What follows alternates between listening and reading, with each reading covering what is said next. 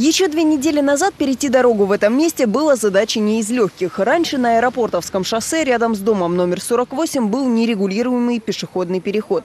Лидия Сидорова живет здесь 20 лет. Говорит, движение транспорта интенсивное, и многие водители раньше не пропускали пешеходов. Приходилось долго ждать. Проблема в том, что когда подходишь с ребенком, ты не можешь перейти.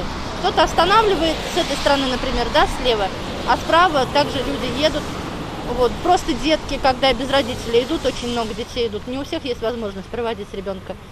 Просто боятся перейти, потому что не всегда останавливают. Ну, естественно, в темное время суток тоже опасность.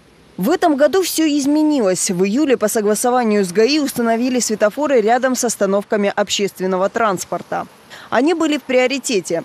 Но, по мнению местных жителей, этого было недостаточно для обеспечения безопасности дорожного движения. И они обратились в социальных сетях к сотрудникам профильного департамента администрации Самары.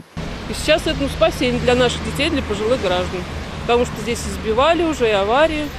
Твиттер это сейчас большой под, ну как, помощь для простых граждан, потому что не все могут и не знают, куда обратиться, написать или позвонить. Это кто помоложе, вот они через телефон, и мы добиваемся, следим за ходом наших обращений, получаем ответы. Почти пять тысяч сообщений жителей Самарской области в социальных сетях обработали с помощью системы «Инцидент-менеджмент». Большинство взяли в работу, многие вопросы уже решены. Система позволяет централизованно отслеживать и оперативно реагировать на жалобы и вопросы граждан в социальных сетях и доносить информацию до власти. Благодаря федеральной системе мониторинга обращений граждан в сетях решение проблемы не заставило себя долго ждать. Мнение и обращение ну, в любом случае анализируется. Если действительно не обосновано, соответственно, решение о необходимости принимается.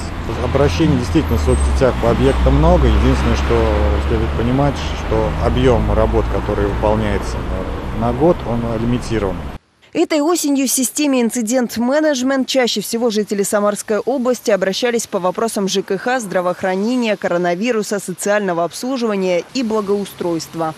Наиболее активными оказались жители Самары, Тольятти, Сызрани, Новокуйбышевска.